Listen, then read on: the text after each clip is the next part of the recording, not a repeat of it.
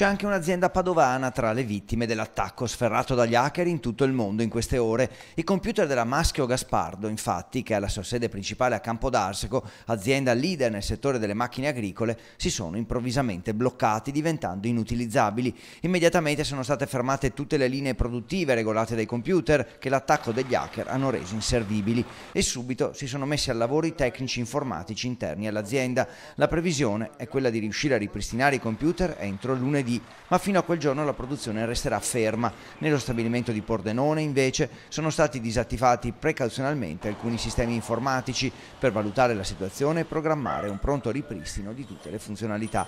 L'azienda, tra 100 milioni di fatturato annuo, ha chiesto per gli operai impegnati nelle linee produttive, ovvero 250 addetti a Campodarsego, altri 150 a Cadoneghe e 250 in provincia di Pordenone, la cassa integrazione ordinaria per un paio di giorni, dopodiché le linee produttive produttive dei tre stabilimenti torneranno a funzionare regolarmente. Nel frattempo il personale amministrativo e commerciale ha continuato a lavorare con programmi e strumenti di emergenza. Tutti i servizi commerciali infatti sono rimasti operativi, in particolare quelli di assistenza e ricambi. Lo scopo è quello di rendere il disagio più indolore possibile.